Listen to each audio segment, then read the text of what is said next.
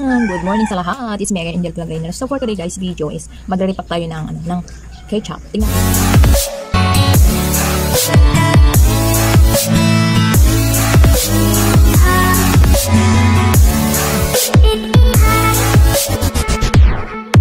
Tingnan natin kung magkano yung ah, magiging ano niya. Magiging No, no, no, no. magkano. Ayan. So gagamit tayo siya ng plastic na 3 by 10 siya. 3 by 10. So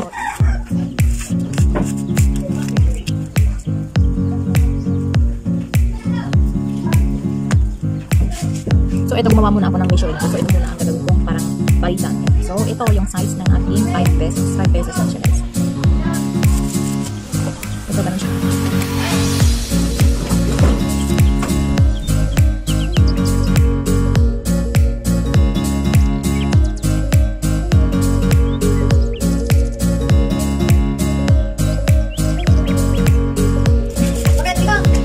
Ganun muna natin sa dulo. Tapos, sa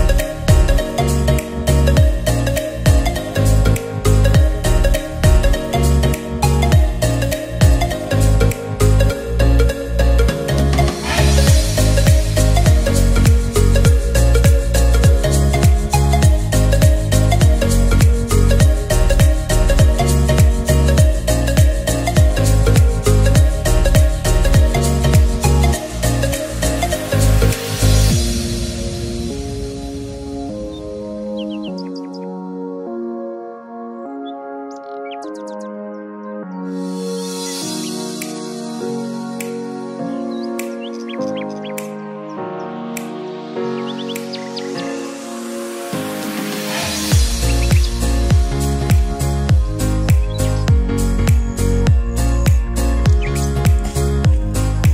yung 5 pesos.